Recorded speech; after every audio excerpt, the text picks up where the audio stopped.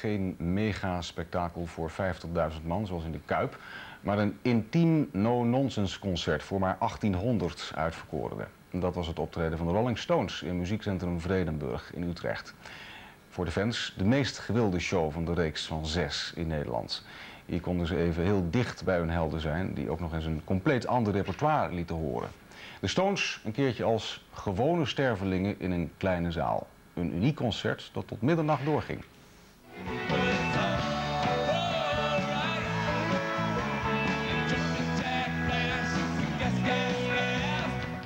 Voor de meesten was het alsof de Stones bij ze in de huiskamer stonden. Zo dichtbij, bijna een privéoptreden.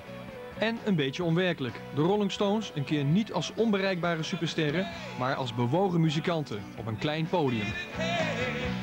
Ik moest huilen. Briljant. Echt niet normaal. Uh, wereldklasse. Jongensdroom. Fantastisch. Het was mijn 24ste en de allerbeste die ik ooit gezien heb. Volstrekt absoluut briljant. Nooit meer lullen dat ze moeten ophouden.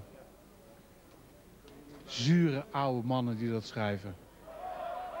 Vredenburg, een paar uur voor het concert. Fans en vips, dat zijn de gelukkigen. Ze hebben heel weinig of juist heel veel moeten doen voor een kaartje.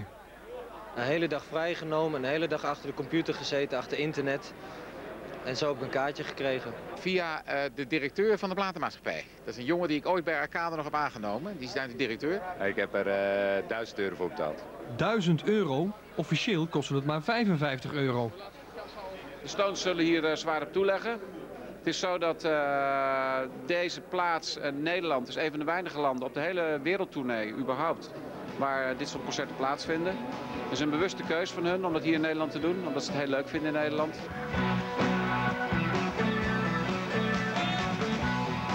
Een grote wereldact in een kleine zaal. Dat betekent strenge veiligheidsmaatregelen.